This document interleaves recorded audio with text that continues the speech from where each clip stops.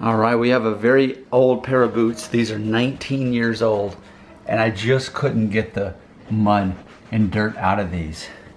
And I was asking my mom if we could put them in the in the washing machine, but instead she says,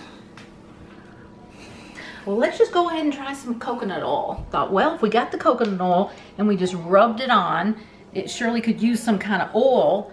And here's this one here. Here's the here's after rubbing coconut oil. Just took me just a few seconds.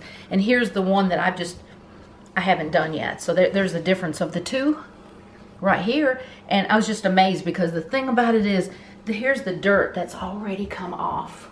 There's the dirt right there. It's already come off. And that's just coconut oil and it's quick. Just rub it in. And so then I would imagine that coconut oil is just going to soften the leather. And so it's going to be clean. And Nick, you'll have a brand new pair of shoes again. perfect.